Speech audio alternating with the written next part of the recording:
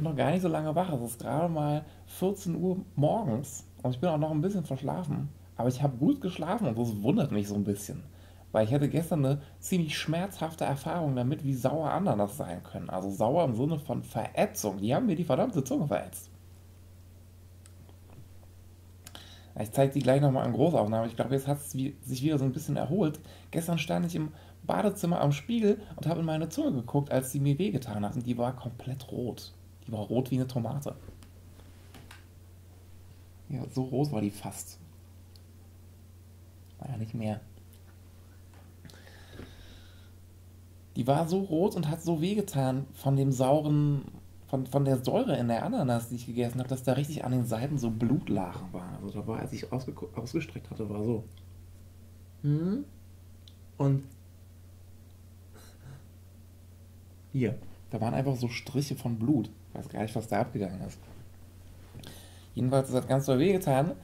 Und dann habe ich versucht, es, also was ich gemacht hatte, um diese, diese Säure, die da anscheinend drin war, obwohl ich das gar nicht erwartet hatte, um diese Säure zu neutralisieren, habe ich hier mein, mein Natronwasser im Mund behalten und meine Zunge da drin gebadet. Und das hat ein bisschen geholfen.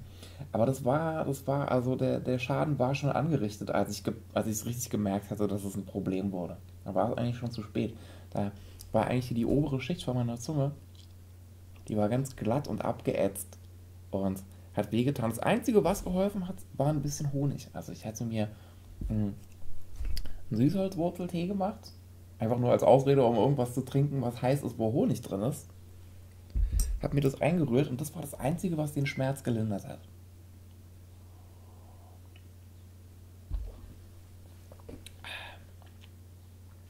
Ja, komisch. Ich hatte das irgendwie überhaupt nicht gemerkt. Ich hatte mich schon so gefreut, dass es wieder eine Ananas war, die so gut ist wie ich hatte, aber dann ziemlich kurze Zeit später hat sich herausgestellt, dass das einfach die Säure hat viel länger zum Wirken gebraucht, als ich erwartet hatte. Also es war, ich hatte die erste, hatte ich hier ein Video draus gemacht gestern. Ich hatte die erste angeschnitten, hatte die Hälfte gegessen und da hatte ich es noch nicht gemerkt. Aber anscheinend, was ich mir jetzt daraus hergeleitet habe, ist, dass ich so eine Art Säureschild auf der Zunge hatte und das wurde dann durch die erste Ananas nur so ein bisschen angegriffen. Also das hat noch den, den Angriff der ersten Ananas ausgehalten, als ich die angefangen habe zu essen. Da ist mir das auch richtig bewusst geworden, wie sich meine Art zu essen mit dem vielen Obst, was ich futtere, geändert hat. Nämlich, dass ich eigentlich die ganze Zeit mit meiner Zunge im Mund irgendwie beschäftigt bin, wenn ich was esse, wenn ich so einen Apfel reinbeiße. Ich, ich schiebe die ganze Zeit das Essen von der einen Seite auf die andere die ganze Zeit richtig so mit der Breitseite von der Zunge. Weiß ich nicht, was das ist, aber ich, ich schmecke das die ganze Zeit. Das sammelt irgendwie die ganze Zeit Verdauungsinformationen, die dann wahrscheinlich irgendwie elektronisch an, an Magen weitergegeben werden. Einfach, dass der Magen sich darauf vorbereiten kann, was da gleich runterkommt oder so. Ich bin da so mega am Kauen. Schmeckt das die ganze Zeit. Bis ich dann merke, oh krass, langsam tut mir irgendwie die Zunge weh. Und ich glaube, jetzt dadurch bin ich auch besser geworden, da drin die früh waren, na, wie sage ich, die, die frühen, frühen Warnsignale zu, zu, zu merken, wenn was richtig sauer ist. Was früher mein Warnsignal ist, waren meine Zähne, aber die habe ich jetzt durch dieses Natronwasser eigentlich schon, habe ich das Gefühl, ziemlich ähm, repariert. Ich hatte immer gemerkt, wenn was zu sauer war, wenn mir am Abend am Zähneputzen die Zähne wehgetan haben. Das habe ich jetzt nie wieder erlebt, seit ich angefangen habe, mit dem Natronwasser zu gurgeln. Ja, krass, ich war, ich war richtig erstaunt. Jedenfalls, als ich da, als mir die Zunge wehgetan habe von, von der Ananas, und ich bin gar nicht sicher, ob die erste vielleicht okay war und die zweite einfach extrem sauer war. Was ich dann jedenfalls gemacht habe, ich habe hier so eine, so eine kleinen, so eine kleinen pH-Streifen. Das ist hier so ein, so ein kleines Ding, das hat hier so eine Farbskala und da ist, da ist so ein, ich habe nur noch ganz wenig übrig. Ist so ein kleiner Teststreifen drin. Den halte ich auf irgendwas, von dem ich den pH-Wert wissen will. Der verfärbt sich und dann halte ich den hier an die Skala, um zu gucken, wie sauber das ist. Ich mache den mal ganz kurz sauber. Ich wische den an meinem Tischtuch ab. Jetzt kann ich wieder durchgucken besser. Das ist die Skala. Das heißt, hier, wenn es ganz braun wird, dann ist es 14 pH-Wert. Der pH-Wert von 7 ist hier. Wenn es so eine Mischung aus Gelb und Grün ist, und ein pH-Wert von 1 oder sogar von 0 ist, wenn der rot ist. Und was ich dann gemacht habe, ich habe ein so ein kleines Schnipselchen, diesen Schnipsel hier, habe ich auf die, ähm, die abgeschnittenen, auf den abgeschnittenen Strunk gehalten. Einfach um zu gucken, was hat denn das für ein pH-Wert, weil wenn das, wenn das Säure ist, so wie ich vermutet habe, dann müsste sich das als pH-Wert spiegeln und das hat sich gespiegelt. Und jetzt ist es schon so ein bisschen verblasst, aber als ich es gestern rangehalten habe, könnte ich schwören, dass das so war. Hier, das war pH-Wert 2. 2! Ich habe wenig Erfahrung mit pH-Wert, aber als ich angefangen hatte, so zu merken, dass wenn ich in ein Glas pinke, pinkele, meine Nierenaktivität, also die Gesundheit meiner Niere feststellen kann, habe ich mir hier so eine Teststreifen gekauft. Deswegen weiß ich nicht, wie akkurat die sind. Wer weiß, ich weiß es nicht. Aber wenn das stimmt, pH-Wert 2, dann ist das schon ziemlich krass, weil pH-Wert 2 ist nicht, das ist nicht, pH-Wert ist nicht linear. pH-Wert ist, wenn ich es richtig verstehe, nicht einfach so eine Gerade. Hier ist pH-Wert 1 und 2 und umgekehrt. 7 und 6 und 5 und 4 und 3. Und es wird immer ähm, mit gleichen Abständen saurer. Aber das stimmt nicht. Ich hatte das so in Erinnerung, dass pH-Wert doch so ist. Hier pH-Wert 7, 6, 5, 4 und das steigt so exponentiell wie eine x-Quadrat-Funktion.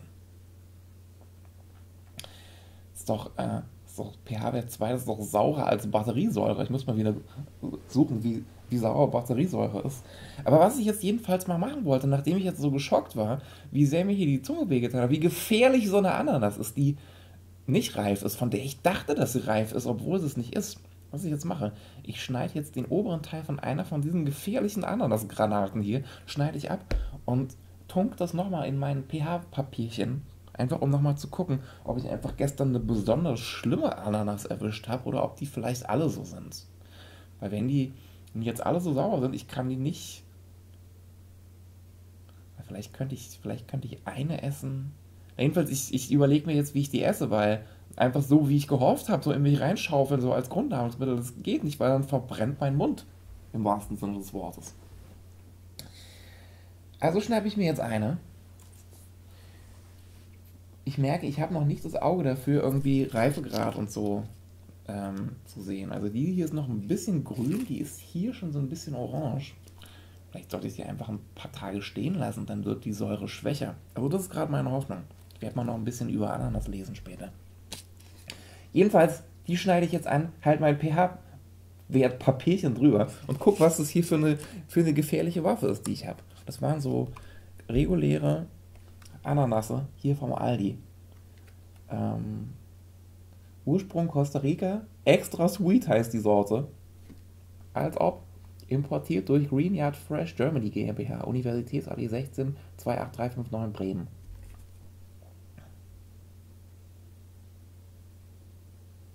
Kann meine Kamera das zeigen? Nö, kann sie nicht.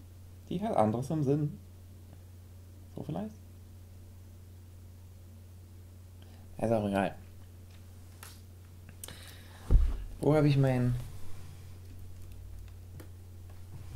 Brettchen? Das ist hier.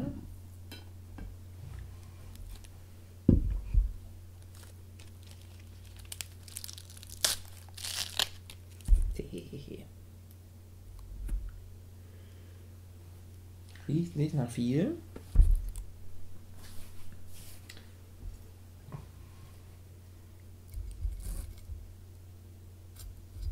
Will nicht zu viel abschneiden, dass ich nicht, nicht unnötig Ananas vergeude. Mir wird, schon, mir wird schon noch ein Weg einfallen, die zu essen.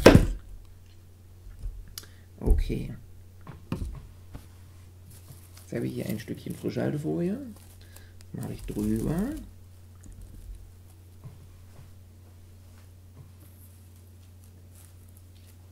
Okay, jetzt geht's ab. Jetzt habe ich hier eine offene Fläche.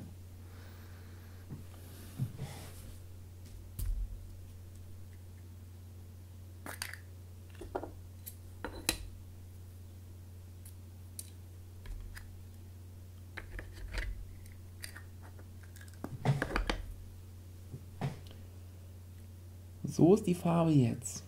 Das ist ganz gut, dass ich ein weißes T-Shirt anhabe, da sieht man das. So. Wenn ich jetzt mal gucke, so um. Wo, wozu die passt, so, das ist vielleicht so pH-Wert 5, pH-Wert 6 irgendwo. Hier so.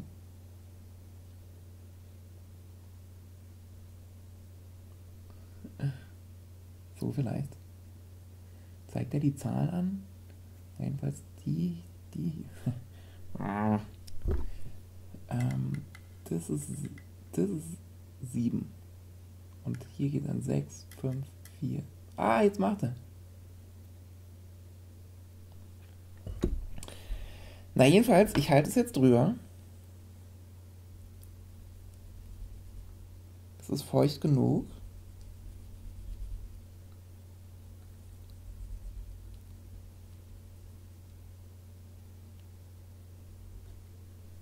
Das ist die, Ver das ist die Verfärbung. Also ich habe auch einen Teil hier dran, dran gelassen, der ist unberührt. Jetzt gucke ich mal, zu welcher Farbe es passt. Ne, der will nicht kleben bleiben. Ich mach mal hier. Ähm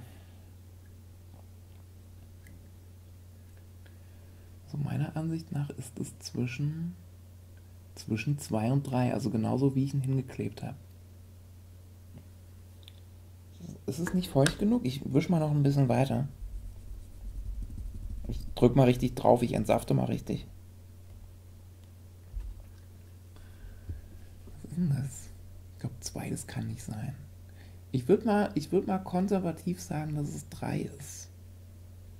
Ich merke, die, die Methode hier, um pH-Werte zu bestimmen, für einen Profi wie mich ist es nicht mehr präzise genug. Ich will das genauer wissen. Ich habe schon gesehen, es gibt kleine Maschinen, mit denen kann man das machen. Also, wenn ich das jetzt so, ähm, so vorsichtig, unsensationalistisch wie möglich bewerten würde, würde ich sagen, es ist 4. Wenn ich jetzt einen auf, äh, einen auf Säureadvokat machen würde, würde ich sagen, das ist 2 weiß es nicht, vielleicht drei, vielleicht ist drei ein guter Mittelwert, aber selbst wenn es nur vier wäre, das ist viel zu krass für den menschlichen Genuss, würde ich denken. Jetzt einfach nur mal aus Spaß, vielleicht sind ja meine pH-Papierchen kaputt. Ähm, schneide ich mal einen Apfel an mit dem unbenutzten Messer und guck mal, was der für ein pH-Wert hat. Das ist ein Granny Smith, der ist ja schon bekannt dafür, dass er eher ein bisschen sauber. Wobei, nee, ich nehme nicht den Granny Smith, ich nehme mal den ähm, den Brayburn hier, der ziemlich lecker ist. Weil ich glaube, der ist noch unsaurer. Ich will mal einfach jetzt im Kontrast was Unsaures zeigen.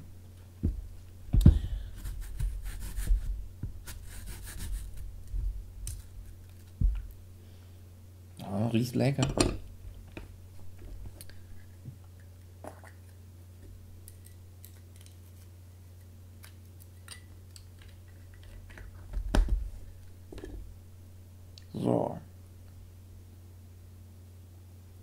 Hier ist wieder einfach nur der Streifen von der Farbe her.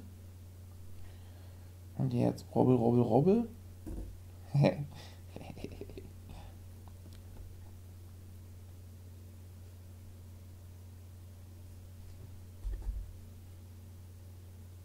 das sieht auch mehr wie. Das ist eigentlich genauso sauer. pH 2, pH 3. Nee, das ist saurer als 4. Na, jedenfalls, ich verliere gerade so ein bisschen die, äh, das, das Vertrauen in mein kleines pH-Papier, weil ich das irgendwie nicht glauben kann, dass das so stark ist. Niemals. Ich merke, ich habe für so ein, ich liebe Messgeräte, ich merke, ich habe ich hab Bedarf für ein pH-Messgerät. Werde ich mich gleich mal schlau machen, ob ich ein ähm, ein pH-Messgerät finde, was den Anforderungen eines Profis wie mich, was mir gerecht wird. Vielleicht finde ich sowas.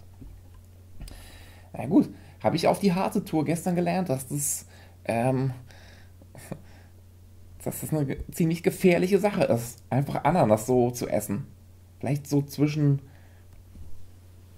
Vielleicht sollte ich nach jedem Viertel irgendwie mit der, mit der Säure gurgeln, aber es kann es irgendwie auch nicht sein. Ich glaube, das ist zu hart für mich. Beziehungsweise ich habe noch nicht rausgefunden, ob die irgendwie erstmal reifen soll. Ich merke, Bedarf für Forschung besteht.